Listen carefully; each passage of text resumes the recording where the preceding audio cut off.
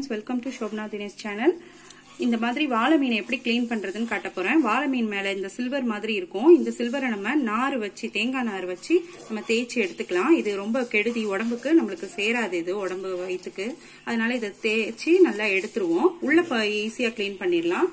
மேல பண்ணுறது தான் கஷ்டம். இந்த மாதிரி தேய்ச்சி எடுத்தோம்னா இந்த மாதிரி வெள்ளையாயிடும்.